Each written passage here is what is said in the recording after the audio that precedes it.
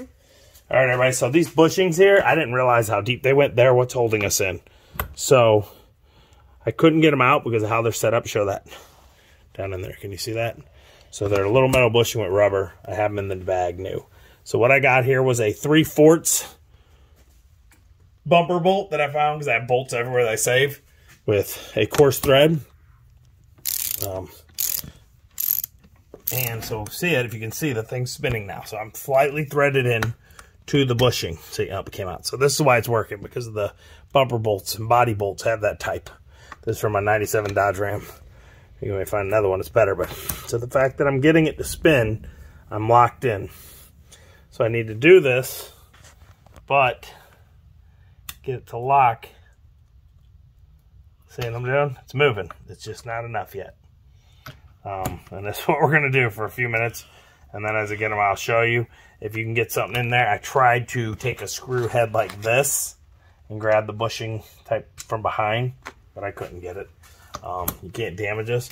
Um, if you have like a, a uh, bolt extractor type, maybe you could get it in there just right, tight, and then pull it out. But I'm just going this way. As you see, I'm moving the bolt. I can't see anything. I know, I'm, I'm moving the bushing. The more I do this, it's just going to take over and over and over. And then hopefully the more I spin, makes a little progress on its looseness. So uh, what? Just see, see, that one's not spinning. I can't see anything. Okay, well, I'm in it, and then it loses. I'm barely in it. If I had slightly, slightly smaller thread body bolt, would be in, and I could tighten it. See, I'm getting it, I'm spinning it. Now, the good thing is, the more I do that, I might make it loose, because it's this part I'm to show you. It's a rubber, it's a metal bushing sleeve with a rubber bushing over it. It kind of so they go in that deep, which is past there they're holding, but you see they got ridges, which are what's keeping it in. Okay? So, yeah. Just for the stupid one O-ring right here, you have to spin the whole thing. So I'm to tell you straight up, they tell you even 500, depends on what it's worth to you, but you know what? It's stupid. But you know what? You change. You let them do it. Let them do it.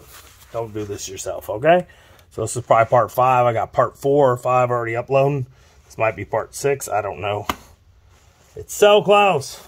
Now I'm making a mess. I still got to clean all this RTV off and put the old on too at the end. But I got to clean the RTV while it's apart. then blow it off. So this is a, what do you think, four hour job? We weren't videoing four hours? Yeah, four hours. Hard part was the RTV held it together. So, and you want to be gentle because you don't want to break this $800 part. All right, so that's it for this video. Probably we might add on more. I'll talk to you in a little. Tried bolts. I tried tap and die. Nothing. Finally, I got this. I've been trying it before it wouldn't work, but I think it was because I spun it a bunch by getting locked in there and was just spinning. So I get in here, reach under it, and just grab and... But I ate up the rubber a lot, like I said, because it was... went inside. I'll get to get that. There we go, guys. There's the two bushings. Now they were connected to here. See it? Boom. That's what was holding this whole piece in. I'm like fighting. Oh, no. Oh, no. More Careful. Oil. No, this guy oh. is another bearing system with springs. Don't want to lose that. And yes, more oil. All right. So here we go. Got those out. Those are what holds the whole thing together. The two stupid rubber bushings. You got a bearing here. I'm going to leave that in place. It sits on a seal. See it? See the seal down in there? Okay. So you want to leave that there. Okay, do not lose that. Okay, so here's the deal. Eight years later, eight years. Okay, and this is the problem with these stupid things. There's no ring here. There's no ring here. There's no ring here, over here. So I don't know if that will slide right. It will that way. So here's this is. I mean, we did it. I need to clean in there. I need to super clean it. I got to get all that stuff off. I guess I should do that first. And I'll wait and do it all at once. I got to get a wire brush and a scraper. And we got to get the stupid RTV off. Um, it's a disaster.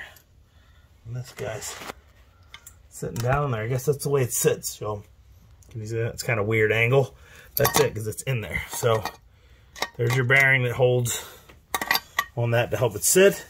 We got it. Look, see what I had to do to the rubber? I like ate it up. So this guy have a new one of these too, so I'm gonna replace it. Uh, okay, so we're gonna get that.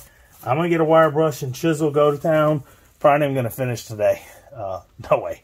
But we're there. Um, if I hadn't videoed, I probably could have done this in three hours or less, though.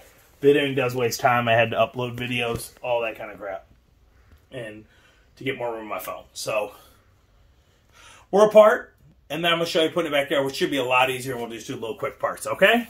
Hope this helped you. If you decide, hey, I'm an idiot and I'm gonna do this on my own because I don't want to pay five hundred dollars because I don't. I think it's getting dim in it battery time. All right, so yeah, that's where we're at. Scrub, scrub, scrub. RTV everywhere, everywhere. All right. See you a while.